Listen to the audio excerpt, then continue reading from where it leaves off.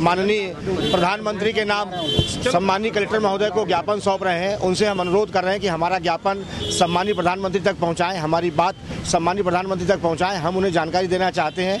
कि इससे नशे का कारोबार बढ़ेगा तथा ऑनलाइन दवा व्यवसाय होने से कुछ हाथ, कुछ लोगों के हाथ में यह पूरा व्यवसाय चला जाएगा। आज दवा के जो आठ लाख केमिस्ट हैं भारतवर्ष के, ये सभी बेरोजगार हो जाएँगे। इसी दृष्टिकोण से आज हम माननीय कलेक्टर महोदय से मिलने आए हैं। मरीजों का बहुत नुकसान होगा। गलत दवाई आ जाएगी तो वापिस नहीं होगा। दूसरा, नशीली दवाई का व्यापार बढ़ेगा। तीसरा, महीने भर की दवाई मंगाएँगे। अब पंद्रह दिन में डॉक्टर दवाई चेंज कर दिया तो वापस तो होगी नहीं ऑनलाइन। उसका नुकसान होगा। हमारी मांग यही है ई फार्मेसी पे रोक लगाई जाए।